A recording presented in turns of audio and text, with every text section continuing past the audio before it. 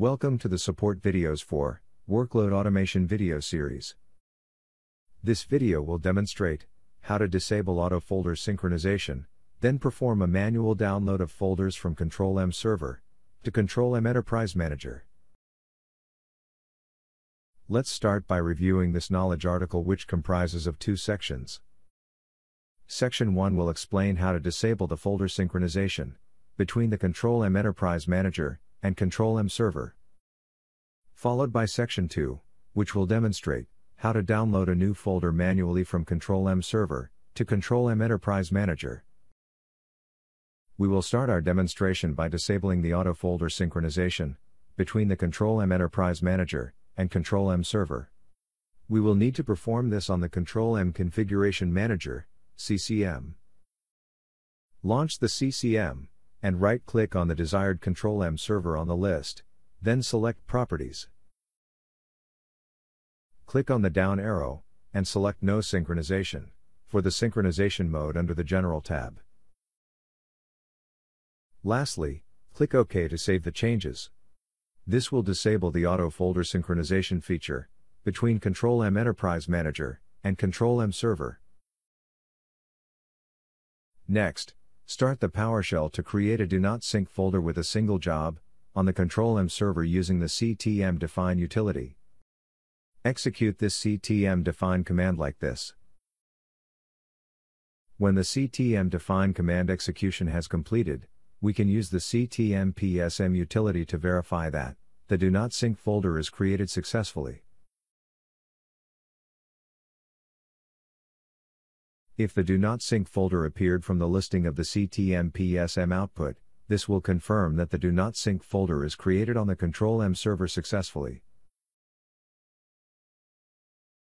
Now, let's open the Control M Enterprise Manager GUI, then go to the planning domain and launch the folder manager.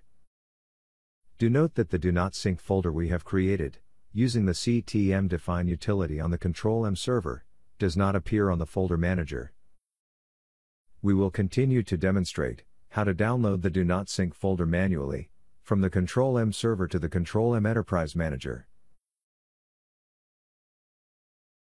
Step 1 Open a blank workspace to define a dummy Do Not Sync folder. Simply create a new folder and enter Do Not Sync as the folder name.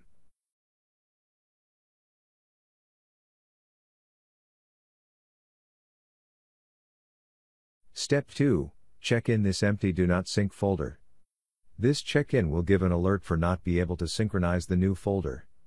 Please do ignore this error and click the close icon.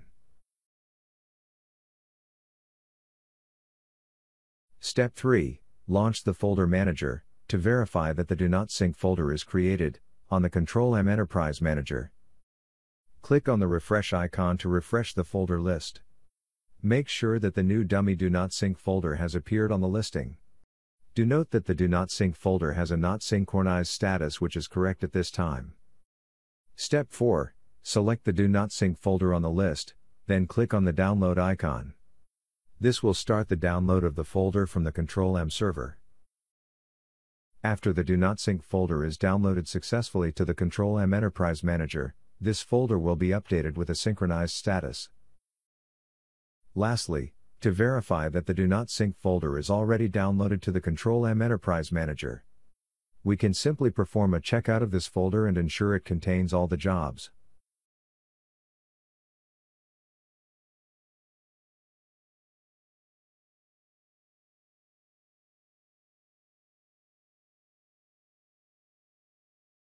Before we ended this support video, it is recommended to set the synchronization mode back to Update Control M Server and Control M Enterprise Manager. This is to enable the auto folder synchronization feature. This will conclude this Control M Solutions video. Please see our knowledge base and YouTube channel for more videos like this. Thank you.